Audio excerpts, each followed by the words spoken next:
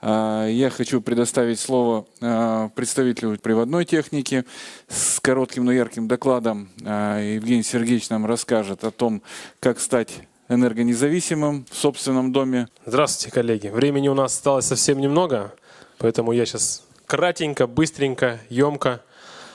Собственно, компания наша занимается не только промышленными системами накопления, но и системой накопления для домашнего бытового частного применения. А, собственно, устройство, которое вы видите сейчас на сцене или рядом со сценой, это как раз а, и есть тот самый бытовой накопитель. Применяться он может, а, в принципе, на любом объекте. Больница, торговый центр, магазин, небольшая мастерская, большая квартира, либо пентхаус, либо небольшой дом. Вот. И все это, ну, это в первую очередь, это устройство создано для того, чтобы сделать вас энергонезависимым, как сказал Сергей Геннадьевич. Основные параметры приведены здесь на слайде. Э, здесь есть также красивая картинка, где он у нас уже стоит в одном из э, интерьеров да, и гаражей. Собственно, с конструкцией и сама топология, идеология этого устройства модульная. Вот, соответственно, базовый модуль у нас 10 киловатт, 10 киловатт часов. А, подключая его параллельно, вы сможете, ну, собственно, закрыть любые свои задачи и потребности. Э, вплоть до того, что можете без электричества сидеть там, днями, неделями, а если хватит денег, еще и месяцами. А устройство у нас, э, ну, так как мы идем ногу со временем, оно достаточно современное, оно поддерживает э, связь с любым устройством на iOS либо на Android посредством любых каналов связи. Это Wi-Fi, это Bluetooth. А, плюс также имеется возможность к нему подключаться с помощью обычного Ethernet.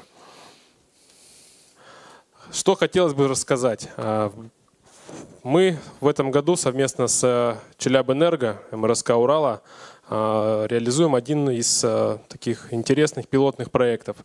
То есть у нас есть площадка, частное домохозяйство, на которое мы получили технические условия на подключение данного устройства.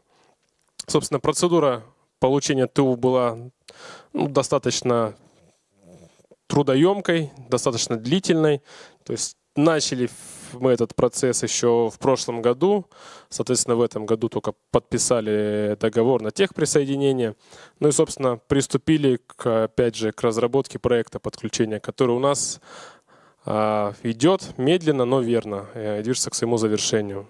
Собственно, здесь основная идея а, данного пилотного проекта заключается в том, чтобы а, подключив данное устройство а, или установив его в частном доме, иметь возможность выдавать электроэнергию обратно в общую электрическую сеть. Вот. И, собственно, эта электроэнергия еще и будет тарифицироваться с бытовой организацией, ну и, соответственно, как-то идти в зачет ну, вашего, вашего платежа за, комму, за коммунальные услуги.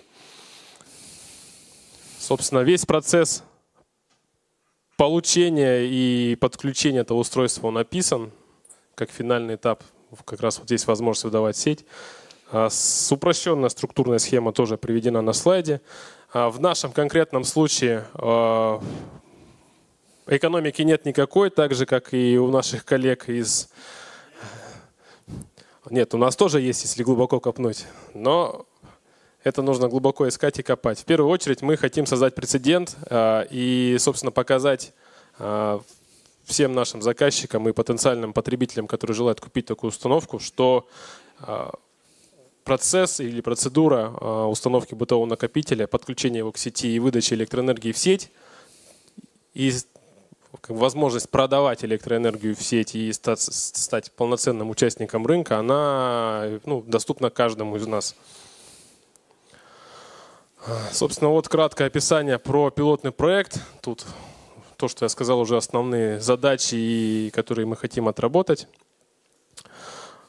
Перспективы. Что касается перспектив. На сегодняшний день э, европейский рынок, американский рынок и азиатский рынок достаточно быстро растут. А за счет чего? За счет того, что там очень бурно развивается альтернативная энергетика. А, в первую очередь альтернативная энергетика в тех же самых частных домохозяйствах. А, связано это в первую очередь с тем, что там а, достаточно высокий тариф за электроэнергию. Соответственно, э, каждое домохозяйство старается экономить, э, устанавливая себе солнечные панели, э, либо какие-то ветроэлектростанции, геотермальные используя какие-то источники. Вот. И используют накопитель как некий буфер, который позволяет, собственно, в нужные моменты выдавать электроэнергию в сеть. Ну, соответственно, она тарифицируется и как-то идет зачет этому, этому участнику.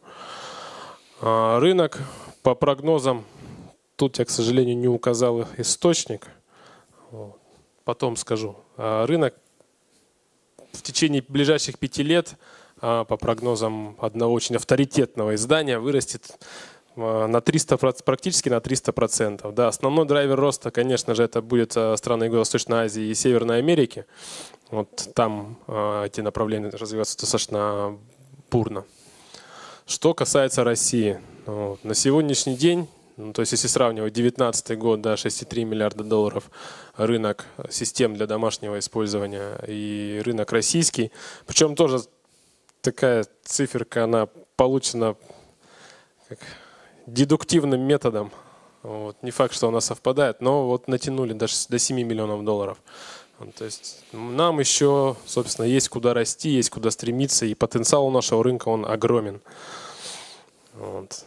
То есть факторы, влияющие на, собственно, наше, наше медленное а, или медленное развитие внедрения вот этих вот бытовых накопителей. Собственно, первый фактор – это низкая себестоимость. Второй фактор – это, опять же, а, низкое развитие ВИА в частном домохозяйстве. А как мы знаем из там, предыдущих докладов ранее, что ВИ это там, один из основных драйверов развития СНЭ. Вот. Ну и, собственно, до этого года, до 2020 года, отсутствие реальной возможности частному лицу а, ну, являться полноценным участником рынка продажи электроэнергии. То есть до 2020 года а, не было ни одного, как бы в, законе, в законе об электроэнергетике федеральном, не было ни одного пункта, который бы Э, позволял участнику участвовать в торговле электроэнергией. Собственно, с 2020 года все эти изменения были внесены. Ну и, собственно, мы хотим стать одними из первых, кто все это дело на собственной шкуре испытает, пройдет все пути, вот, и потом будет рассказывать, как, как, как наш накопитель подключить к сети так, чтобы продавать электроэнергию и зарабатывать на этом деньги. Перспективы.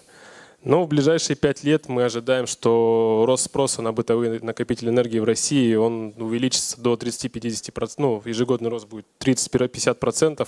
Опять же, связано это с тем, что появятся свои собственные а, производители ячеек аккумуляторных, а, пройдут несколько э, итераций в дополнении в законодательно-правовые акты, вот, которые, собственно, упростят процедуру подключения бытовых накопителей, да, использования их там совместно э, с электросетевым хозяйством. Вот. Ну, надеемся, что развитие возобновляемых источников энергии и их массовое применение участников тоже сыграет свою роль. Ну и, соответственно, стандартизация и пересмотр НПА как один из основных драйверов, который стимулирует применение бытовых накопителей а, в плане именно а, экономии электроэнергии для частника. Он тоже считаем как один из таких факторов, повлияющих благоприятно на распространение и увеличение а, присутствия вот таких устройств у каждого из нас. В общем, коллеги, спасибо большое. Вопрос?